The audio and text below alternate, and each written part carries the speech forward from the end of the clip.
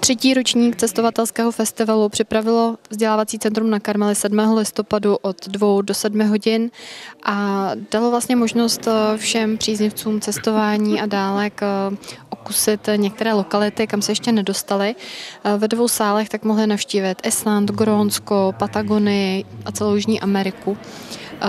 Kromě toho bylo v Atriu vzdělávacího centra připraveno spousta atrakcí, a to konkrétně ochutnávka rumů, speciality ze zmíněných lokalit z Patagonie, Grónska a Jižní Ameriky.